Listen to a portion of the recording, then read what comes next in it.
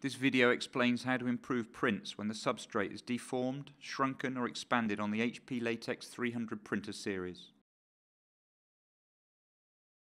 If the substrate is deformed or wrinkled because of the curing process, decrease the curing temperature setting in the substrate presets in steps of 5 degrees centigrade, 9 degrees Fahrenheit. Repeat this operation until the deformation or wrinkles disappear if after decreasing the temperature the plots do not cure properly, you only have two options. The first option is to print more slowly and keep the plot under the curing module for a longer time. The print speed can be reduced by increasing the interswath delay value, or by increasing the number of passes.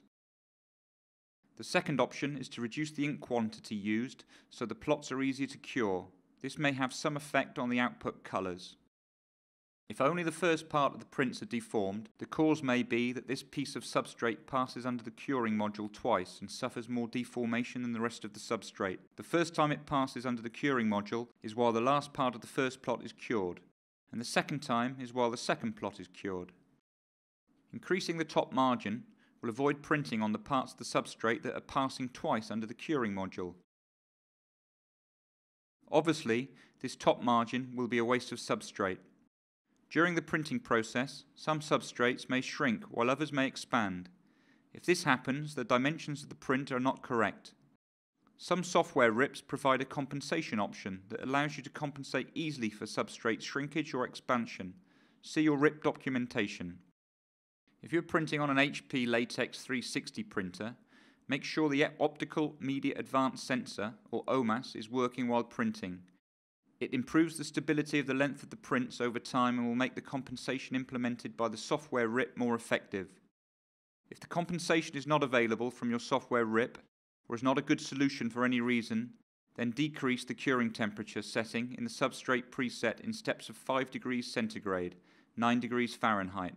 Repeat this operation until the deformation is acceptable. If after decreasing the temperature the plots do not cure properly, 1. Reduce the printing speed by increasing the interswath delay or the number of passes. 2. Reduce the ink quantity. Some substrates, like calendered vinyls and cellulose-based poster papers, may suffer from bow deformation during printing, as a result of which the print will appear curved. The effect has been exaggerated in the image to simplify the explanation. This effect can be compensated by measuring the deformation and introducing the right value for the straightness optimization parameter. This parameter can also be changed from some of the software RIPs.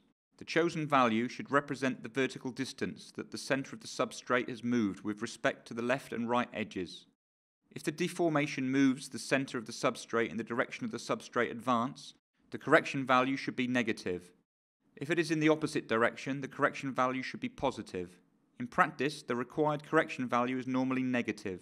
If it is difficult to measure the deformation on your own plots, you can print a test plot stored in the hard disk of the computer. In order to obtain this plot, you must type in the following text in a web browser.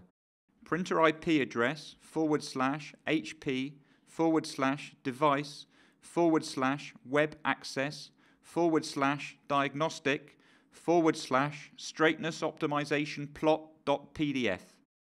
Print this image from your software RIP and measure the deformation as explained in the instructions written on the plot. If compensation is not a good solution for any reason, then decrease the curing temperature setting in the substrate preset in steps of 5 degrees centigrade, 9 degrees Fahrenheit. Repeat this operation until the deformation is acceptable.